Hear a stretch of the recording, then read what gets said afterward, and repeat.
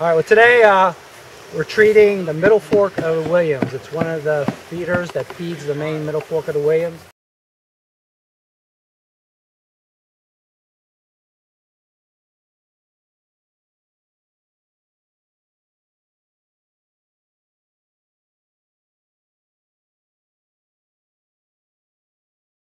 Hey guys, what's up? Welcome back to the uh, Brookie Bum channel. Hey, uh, this episode here we're following up with our uh, Behind Conservation series. Um, this episode we uh, we tag along with the West Virginia DNR. Uh, West Virginia DNR in a company with the Ernie Nester chapter of Trout Unlimited uh, and also Walmart, um, who contributes to the limestone fines in this episode. Uh, it, it, this is the Bucket Brigade. This is their 12th year doing this. Um, what they do is is they take buckets of limestone fines and they pass it person to person all the way down the line until they get to the end.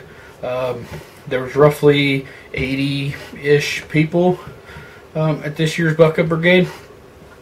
And uh, at the end, they toss it out into this little run that runs it out into uh, the middle fork of the Williams River. Uh, the middle fork of the Williams River essentially years ago was completely dead. Uh, but with this efforts from the West Virginia DNR, uh, and Ernie Nester chapter, and again Walmart, uh, with these efforts, they have brought back the middle fork of the Williams River, and today you can catch some amazing brook trout in this stream. Um, all because of the efforts of bringing the limestone into West Virginia. Uh, the DNR here uh, do an amazing job with this limestone. Uh, this is not the only stream in West Virginia that they put these limestones in.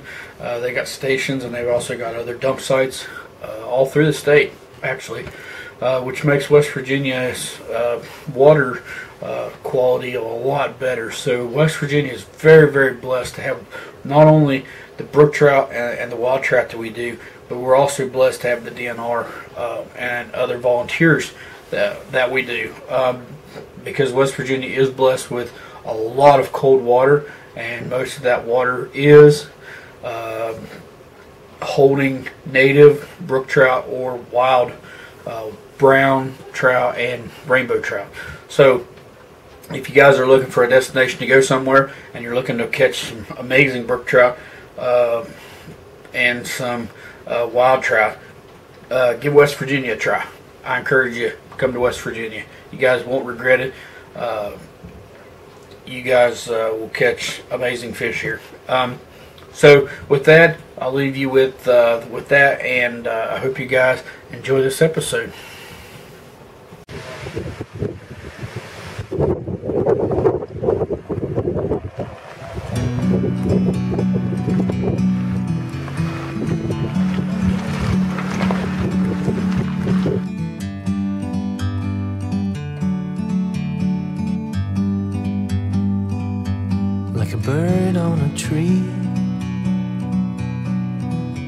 Just sitting here. I got time, it's clear to see. From up here, the world seems small. We can sit together. It's so beautiful you and me. Meant to be in the great outdoors, forever free.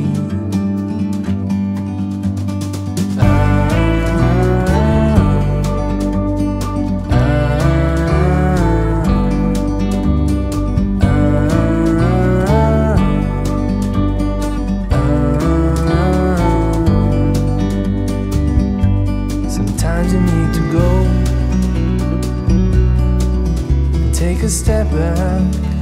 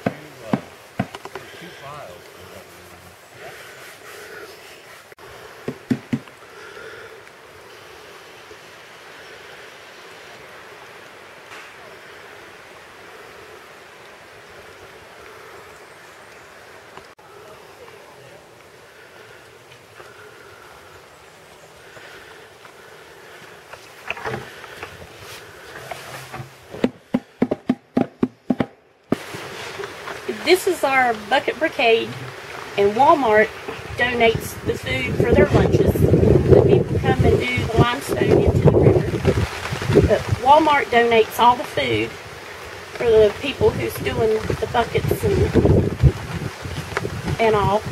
And uh, usually 1477 will get the food and bring it out here and serve it to the guys when they get done putting in the limestone.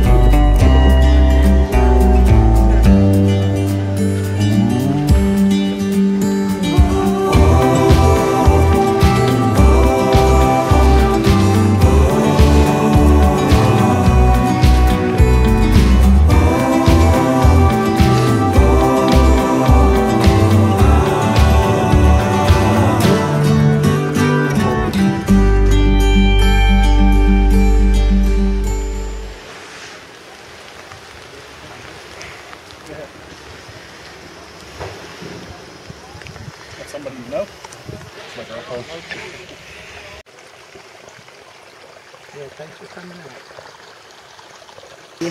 All right, well today uh, we're treating the Middle Fork of the Williams. It's one of the feeders that feeds the main Middle Fork of the Williams. Um, the Middle Fork of the Williams has been impacted heavily by acid rain over the years and it reached a point that uh, in the 70s all the brook trout population that was once in it uh, was eradicated. There was no more fish left in the stream. Um, we started doing the treatment on the Middle Fork of the Williams. Oh, I believe it was in 2006 or 2007. We started treating one of the other feeders that are off the scenic highway.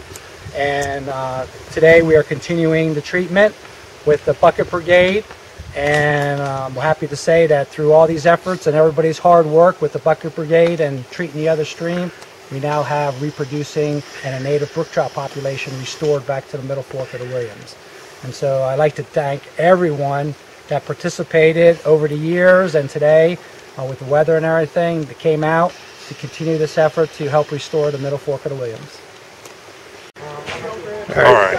Um, so the the Bucket Brigade, I believe, it started 12 years ago, um, and it was originally a suggestion from Ernie Nester um, after we heard that John Rubinsky had been hand carrying tons of limestone back in here by by himself. So it sounded like a uh, a good project that we could uh, contact him. Ernie suggested we do that, so I made contact with John, and uh, we started. Uh, I think we had about 25 people the first time we did it, and uh, so we've done it every year successfully, getting larger. Some years kind of up and down on that, but we still get anywhere from 50 to 100 people out here now to do this in 12 years, and uh, it's successful. We got plenty of fish in the Middle Fork now, and it's a really popular event from everybody. And basically, TVU's role is to help and contribute with some limestone fines some funding with that in association with Walmart.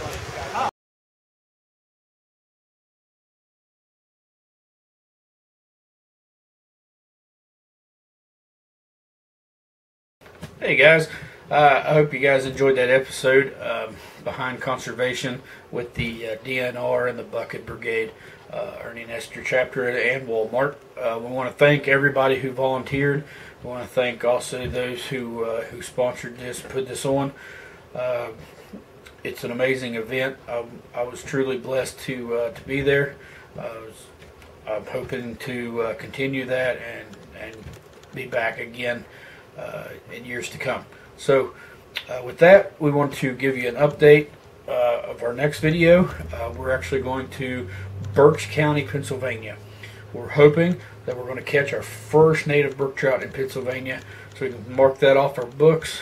Uh, be a state that we that we can check off that we've caught some brook trout in. Um, but uh, yeah, we're going to Berks County. We're going to fish North Kill Creek in Berks County, Pennsylvania. So check that out. That's coming up uh, the 29th of this month. So, um, and after that, we are hooking up with uh, the U.S. Forest Service.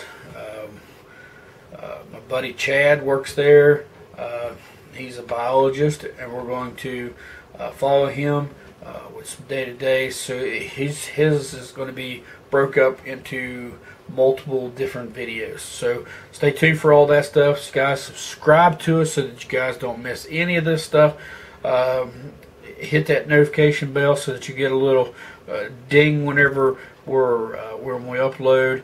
Uh, you guys don't want to miss this. Brookie Bum is all about educating people, uh, and that's what we're going to do. Uh, that's what we started this behind the conservation uh, series, uh, so that we can bring more conservation to people, so that we can all connect together to be one big, huge unit of conservation-minded people.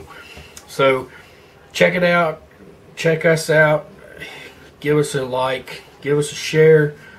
Subscribe to us. And uh, as always, uh, keep them wet. Peace.